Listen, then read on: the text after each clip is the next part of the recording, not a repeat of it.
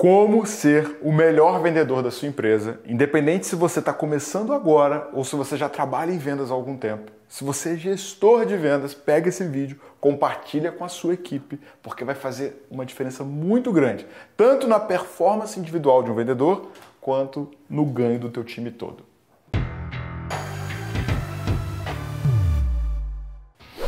Muito importante. Se você é novo por aqui, cara, se inscreve no canal. A gente publica conteúdo toda semana com o objetivo de fazer com que você melhore a sua performance em vendas, seu conhecimento em vendas. Então, se inscreve, marca no sininho para ser notificado toda vez que eu publicar um vídeo, isso chega para você. E cara, deixa a sua curtida, isso ajuda o nosso trabalho, isso informa para o YouTube que esse conteúdo é relevante. Então já curte agora, porque no final eu sei que você esquece. Deixa eu te falar, eu trabalho há 10 anos à frente de operações comerciais e pouquíssimas vezes eu vi pessoas efetivamente determinadas em aprender vendas e evoluir dentro dessa carreira. O que, que acontece, cara? Vendedor é a única profissão que ninguém define o quanto você ganha.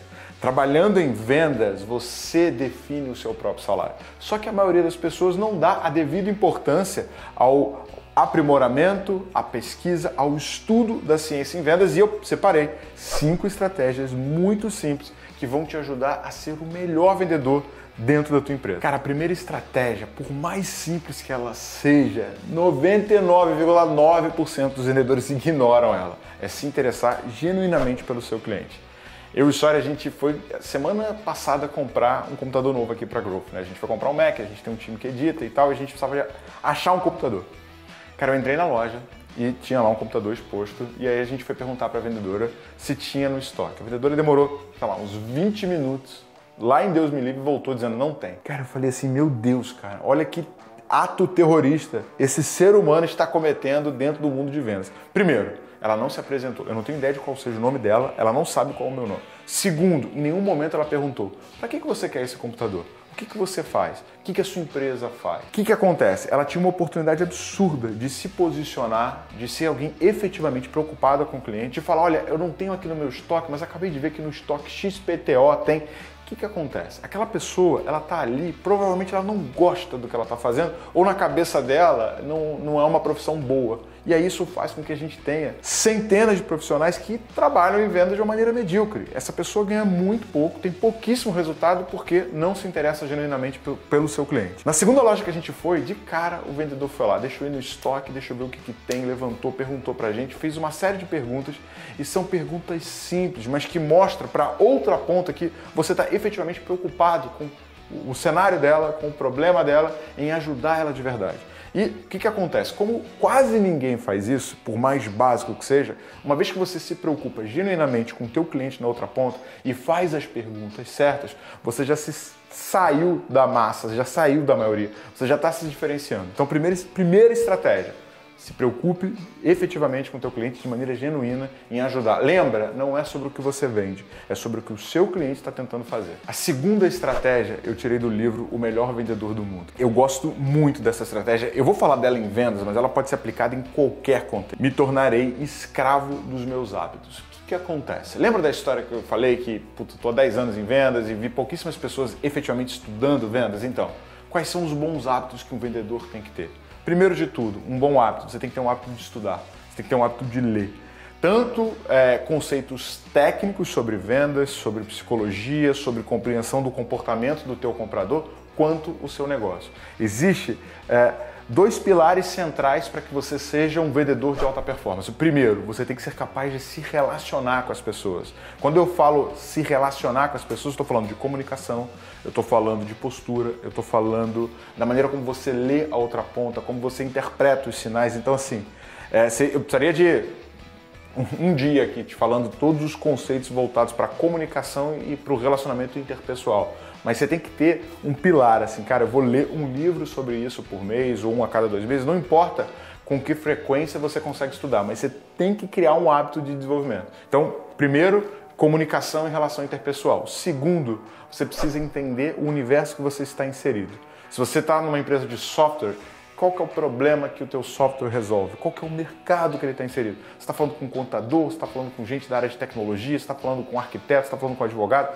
Você tem que entender qual que é o contexto de negócio do seu cliente, de que maneira ele ganha dinheiro, de que maneira é, ele tem sucesso ou de que maneira ele tem fracasso. Quando você equilibra esses dois conhecimentos, você já está sendo efetivamente o que a gente chama de especialista. E as pessoas não querem comprar de vendedores, a gente quer comprar de especialistas. Quando você vai num médico, você está procurando uma resposta para o teu problema.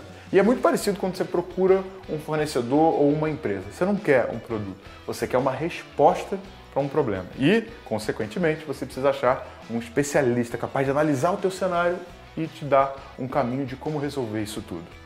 Terceira estratégia, essa eu também tirei do Melhor Vendedor do Mundo. Eu adoro esse livro, para mim assim tem que ser o livro de cabeceira de quem trabalha em vendas. Persistência. Na maioria das vezes você vai tomar não. Você precisa tomar muitos nãos para conseguir chegar num sim.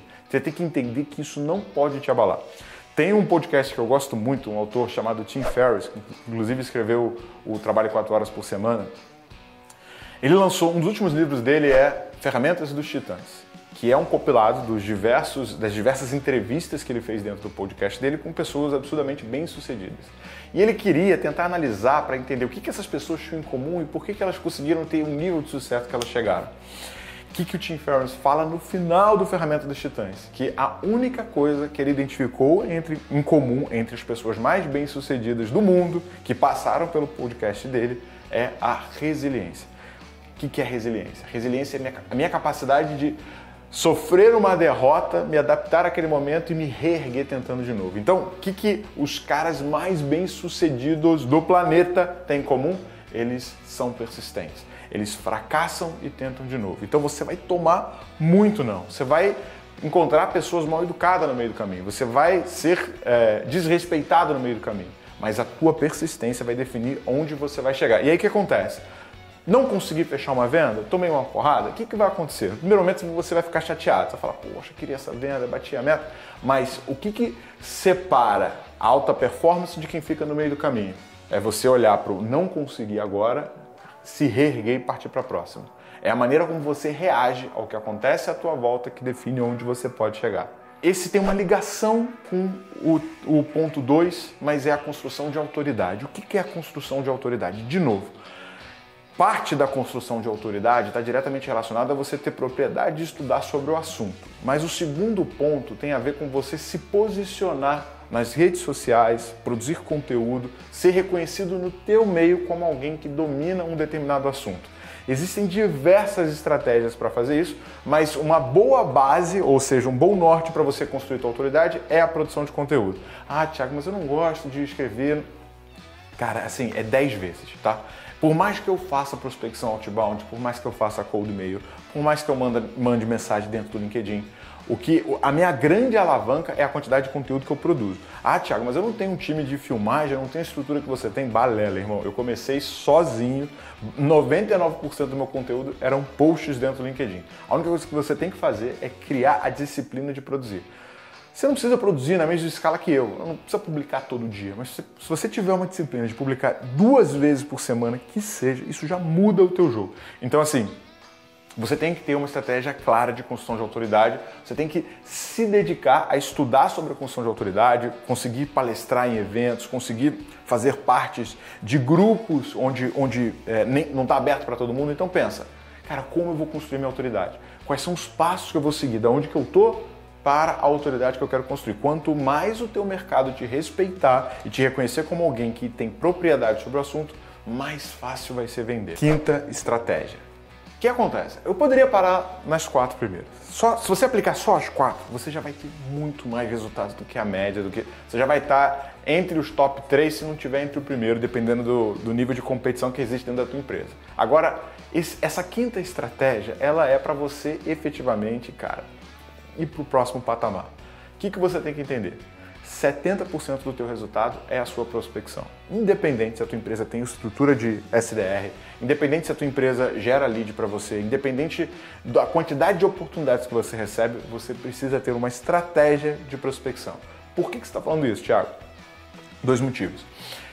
As melhores contas, as, os melhores negócios dificilmente vão te procurar passivamente. Eles até vão, mas eles vão ser 1% de todas as oportunidades que você vai receber. Se você pegar a Salesforce, que é uma das maiores empresas de tecnologia, que criou o conceito do mercado SaaS, eles colocam o seguinte: 75% do resultado de um executivo de conta vem da prospecção dele, 25% vem do SDR. Então o que você tem que entender? Você precisa prospectar. Tem três coisas que dá para fazer em prospecção. Aqui no canal você vai achar um montão de vídeos onde eu te explico melhor como você prospecta. Não é o objetivo desse vídeo, mas três coisas que você tem que entender. Primeiro, o que, que um vendedor pode fazer de prospecção? Cara, desenvolve uma estratégia de prospecção com automação seja via LinkedIn, seja via e-mail, mas uma estratégia que você parametriza, dá play e deixa rodando, que não exige o teu esforço constante, e sim que você vai trabalhar mais em cima das respostas.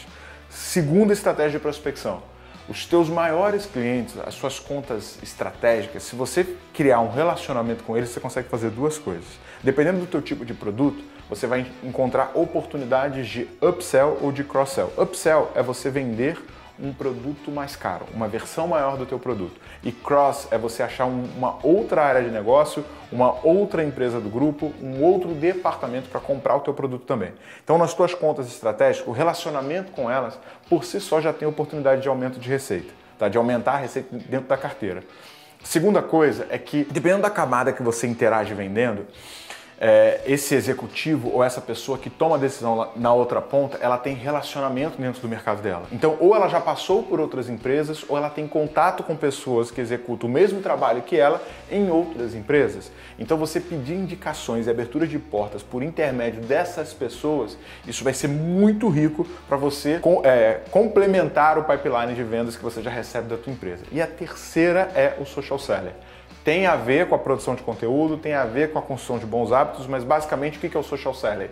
Quando eu vou prospectar uma conta estratégica, uma conta alvo, e não é uma conta pequena, quando eu chego no decisor dessa empresa, eu consigo ver com quem ele está conectado. E o social selling, o que, que significa? Significa você criar uma rede de contato, você fazer network, você ajudar as pessoas à sua volta, você produzir conteúdo para conseguir usar sua rede para vender mais. Então, imagina que você quer vender para Coca-Cola. Você vai lá no diretor da Coca-Cola e analisa de todo mundo que você conhece, quem que de alguma forma tem contato com o diretor da Coca-Cola. Com isso, você consegue fazer um tipo de prospecção muito personalizada que não é escalável, mas que vai te trazer grandes negócios. Não em, em, numa quantidade grande, em alto volume, numa quantidade pequena, mas que eu tenho certeza que vai fazer você virar o top performance. Ó, estudar tem um ponto muito importante. Tem três livros que são obrigatórios para quem trabalha em vendas. Se você ainda não leu esses três livros, cara, coloca aí na tua listinha, vai lá na Amazon comprar. Vou pedir, vou deixar aqui embaixo o link pro meu time vai deixar o link aqui embaixo para você ir lá na Amazon.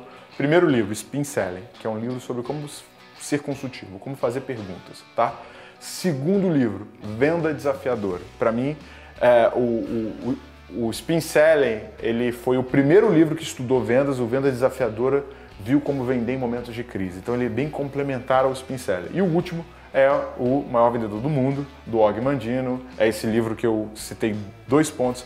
Cara, assim, ele tem um processo para você ler ali que tipo explode a tua cabeça. Então compre esses três livros. E não é para ler como se fosse um romance, é para estudar. Esse, negócio tem que ficar na tua cabeceira. Você está sempre ali consultando e usando ele contigo. É o caso a grana que você quiser. Se você seguir essas cinco estratégias e botar esses livros na tua cabeceira e ficar estudando, estudando eles, você vai para um outro patamar em vendas.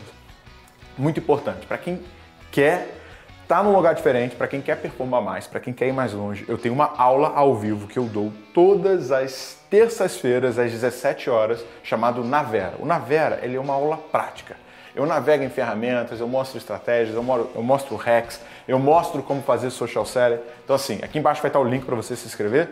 Se cadastra, lá você cai numa página que tem um link para você entrar num grupo de Telegram comigo, onde eu estou sempre mandando conteúdo novo. Então, segue esse processo. Eu tenho certeza que você conhece pelo menos um vendedor que precisa assistir esse vídeo, que vai fazer ele ganhar mais dinheiro, vai fazer ele performar mais, vai fazer ele mais longe. Então, aqui embaixo tem um botãozinho para você compartilhar clica, copia esse link, manda por esse amigo pro WhatsApp, joga no grupo da empresa, me ajuda a fazer esse conteúdo chegar em mais pessoas. E ó, aqui tem dois conteúdos que são complementares a esse vídeo.